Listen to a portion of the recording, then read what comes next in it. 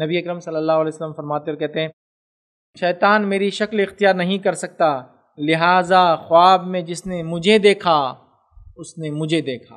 خواب کا معاملہ ہی الگ ہے، یاد رکھیں۔ آپ پہلے سے اللہ کے سیرت پڑھ چکے ہوں گے، تو آپ ان خسائل سے پہچان لیں گے کہ محمد صلی اللہ علیہ وسلم۔ کیا لیکن ایسا خواب دیکھنے والے کی کوئی فضیلت ہوتی ہے؟ تو ایسا خواب دیکھنے والے کی کوئی خاص فضیلت نہیں۔ جتنی روایتیں فضیلتیں بتائی گئی، کوئی بھی روایت ثابت نہیں۔